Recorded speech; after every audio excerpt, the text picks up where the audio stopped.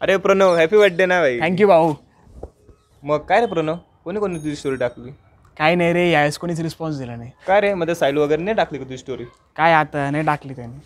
मी story टाकली ना तुझी. तू बघितली का? मग भाऊ बघितली नाही. विषय काय? आला पाय तो. अरे भाई हॅपी बर्थडे थँक्यू व्यवस्थित. ना? एक मिनिट फोन येतो. हॅलो. काय रे? त्यांनी तुझी स्टोरी टाकली होती का? नाही टाकली.